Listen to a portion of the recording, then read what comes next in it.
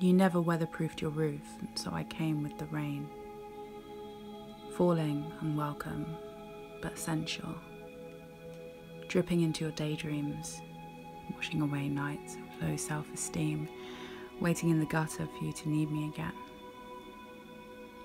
I dance in the damp to the sound of your thunder.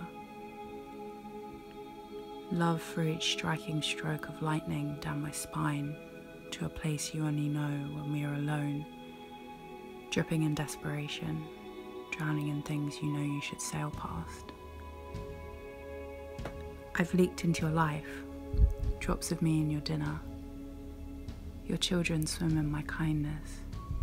We couldn't pull ourselves from this whirlpool, so we sink to the ocean beds, paddling in deep, deep trouble. I've counted the seconds your eyes explore me as you walk me home, as you put up your umbrella, drinking in one last look, whispering something about silly little girls and grumbling about getting a new babysitter, but you never do.